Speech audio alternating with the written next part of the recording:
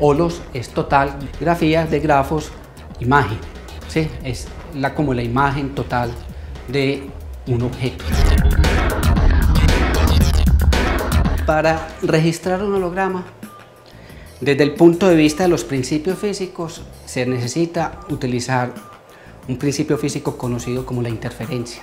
Y para poder hacer interferir luz de una manera que pueda ser registrada, hay que utilizar láseres.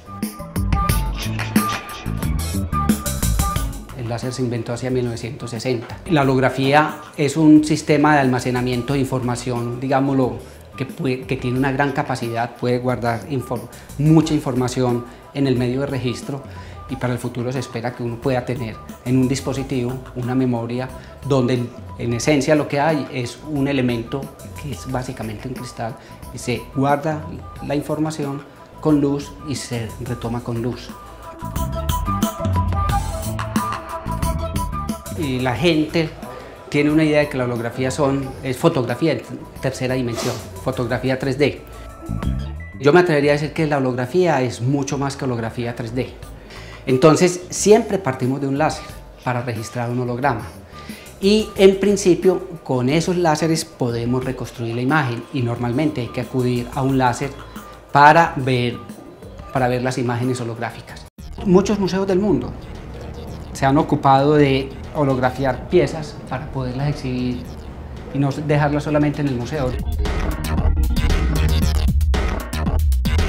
Al surgir la holografía inicialmente con el registro de láseres surgieron unas técnicas en las cuales haciendo el registro de cierta manera, aún con láseres, se puede utilizar fuentes de luz comunes y corrientes, lo que nosotros llamamos luz blanca, y con esa luz blanca podemos entonces reconstruir el holograma. Entonces digamos lo que esas son como los dos grandes tipos de hologramas que hay. Es hologramas de transmisión que solo se ven con láseres y hologramas de reflexión que se pueden ver con fuentes de luz blanca. ¿Qué ha pasado con la holografía?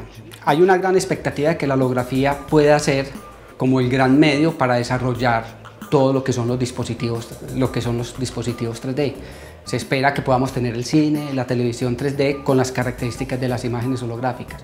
Lo que pasa es que desde el punto de vista tecnológico el problema es grande digamos, la holografía que uno ve en estos laboratorios y mucha de la holografía que conocemos, digamos, lo que todavía está en un estado muy estático.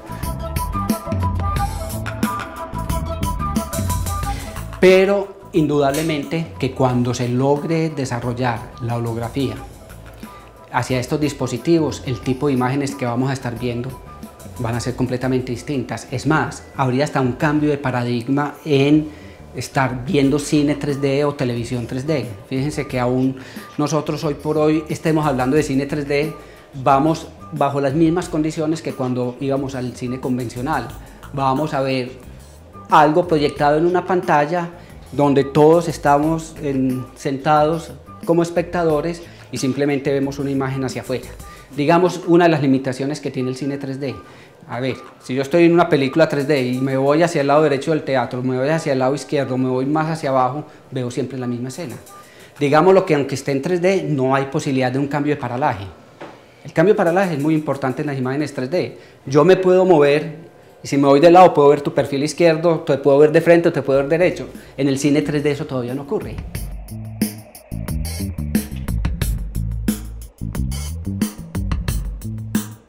Cuando estoy viendo el holograma estoy viendo una imagen que registré en él.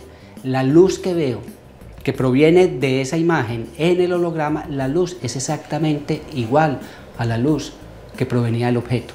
En principio es imposible desde el punto de vista óptico distinguir si está el objeto real o está la imagen holográfica de ese objeto.